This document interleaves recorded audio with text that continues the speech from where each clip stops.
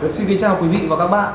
Bản tin tuần này của Bộ phận Kỹ thuật chúng tôi xin giới thiệu với quý vị và các bạn về cách kiểm tra và ghi thông số của các loại đồng hồ và công tơ điện. Ờ, khi đi ờ, kiểm tra và ghi thông số của các công tơ điện thì ờ, chúng ta phải mang theo một file ghi số điện và một chiếc đèn pin. Tôi xin giới thiệu với quý vị và các bạn đây là phòng cao thế trạm 1 nơi mà đặt đồng hồ tổng của tòa nhà 88 Lán Hạ. Khi mà chúng ta kiểm tra và ghi thông số của đồng hồ thì chúng ta cần phải ghi đầy đủ những thông tin ở trên đồng hồ gồm có ờ, ngày và giờ, điện năng tiêu thụ tổng của cả tòa nhà, công suất phản kháng và điện năng ờ, tiêu thụ của các pha.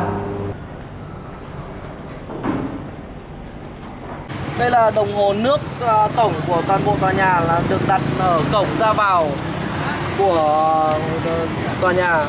Buổi sáng hàng ngày thì chúng tôi thực hiện chốt số nước tổng.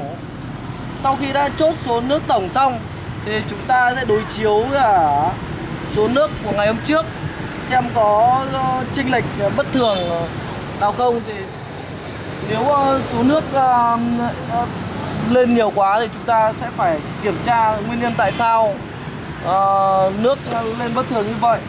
Hoặc là tại sao không có nước vào, nghĩa là ít hơn nhiều so với ngày hôm trước thì chúng ta phải kiểm tra nguyên nhân tại sao lý do là hoặc là mất nước.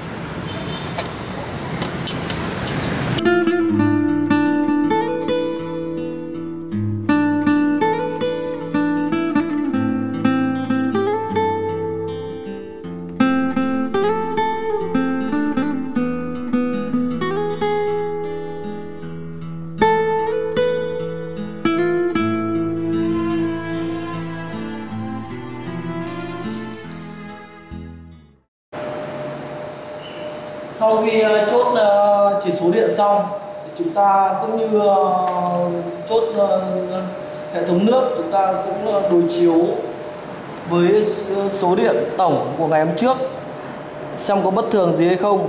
Nếu mà lên quá thì cũng phải báo ngay cho cái sư trưởng biết để tìm phương án kiểm tra và xử lý.